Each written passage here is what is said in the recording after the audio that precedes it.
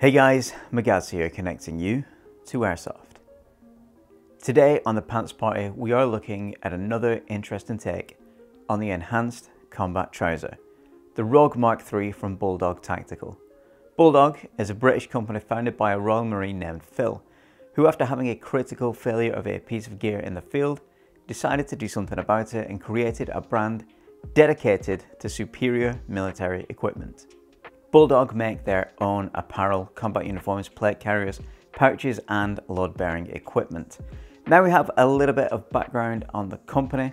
Let's take a look at the product itself. The Rogue Mark III trousers are an enhanced combat trouser that takes a lot of features and inspiration from the Crye design, but in a more minimalist fashion. The trousers are available in MTC, which is a copy of Multicam, MTC Tropic, MTC Night, French CCE, Coyote, OD Green Black, and at one time, Dutch DPM. It is the DPM trousers we'll be taking a look at today. I can't speak to the quality of the fabric of the rest of the colorways are made from, but the Dutch fabric is a very solid 65 cotton 35 polyester ripstop.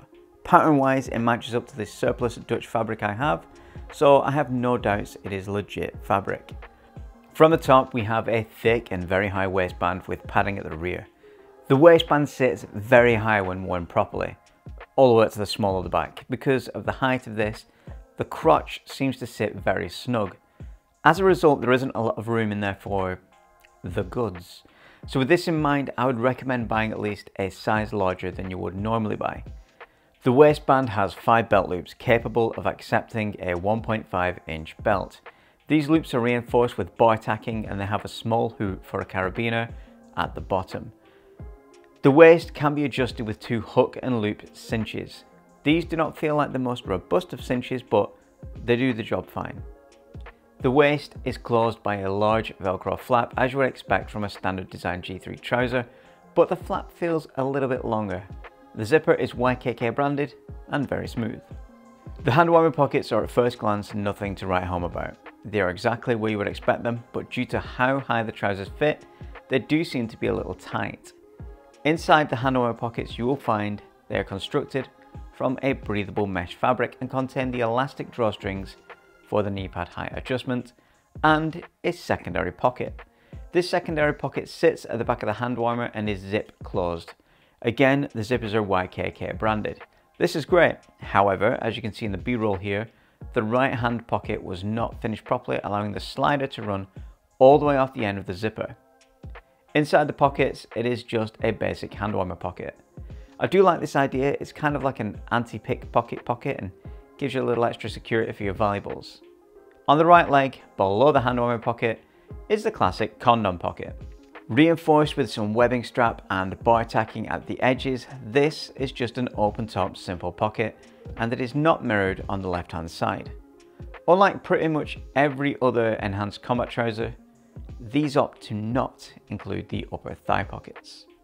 Next we have the cargo pockets, located on the side of the leg. These pockets are secured by two velcro strips and are bellowed to allow expansion. There are no elastic straps or magazine pouches inside these pockets like other trousers. They can be cinched tight with an elastic drawstring though. Normally we would have the ankle pockets, but Bulldog chose to omit these from their design. The back of the knee features a pair of cinch points for adjusting the size. This is secured by Velcro. This concept is repeated at the ankles but executed differently. This time with a single strap that is reminiscent of the Pentagon Wolf design, again secured by Velcro. The rear pockets are zip closed and have a flap to protect them. The seat of the trousers is reinforced with an extra layer of fabric.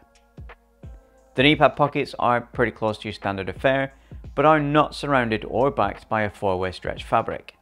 To address the elephant in the room, there are no stretch panels on these trousers. This negates the need for a cover flap when the knee pads are removed. The included knee pads certainly serve their purpose, but they're not as well made as say the TMC or Emerson knee pads. They feature a gripped surface and are slightly more rigid than a standard G3 style knee pad.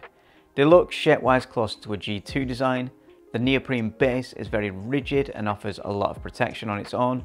It does make inserting the knee pad a little tricky though. These are the same size as the standard Crye opening, so all of your favorite knee pad inserts should fit without an issue. That is pretty much everything in terms of features. The stitching is reasonably well done, particularly the bar tacks that feature in stress points.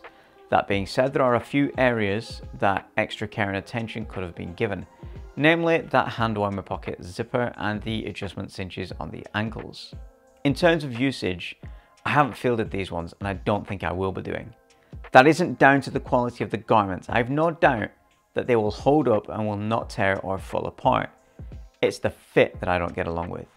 Traditionally, I wear a 28 inch waist with a 30 inch leg. I'm a hobbit. This pair was sized as a 28 waist, 32 leg.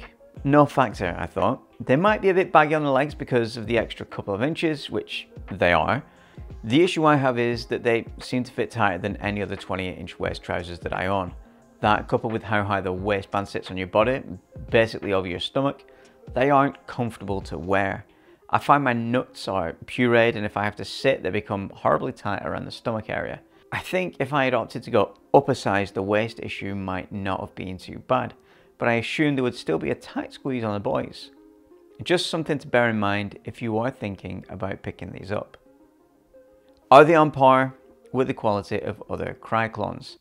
Without a doubt, these trousers definitely sit alongside TMC and Emerson in terms of quality to price ratio. I said in an Instagram story that these were the second worst trousers I had reviewed. At that point in time, given how perturbed I was about the fit and the zip situation, I think I was heavily biased with that statement. After sitting down to write the script and handling them, looking over the stitching in detail and feel of the fabric, they aren't as bad as I first thought. They aren't my favourite design, but they certainly are a serviceable pair of enhanced combat trousers for airsoft use. If you have any questions about these pantaloons, drop them below and I'll do my best to answer them. Before I leave, again, I'd like to give a reminder about the Patreon that helps support this channel. If this review has been helpful to you, go join the minimum tier for a month and see your name in lights for all time like these top tier blocks here. Don't forget to subscribe. There are plenty of review videos in the works both as part of this series and in the Airsoft Replica series. Thanks again, I'm Magaz, and remember kids, the air may be soft, but our balls are hard. Also click on this playlist here to see the rest of the videos in the Pants Party series.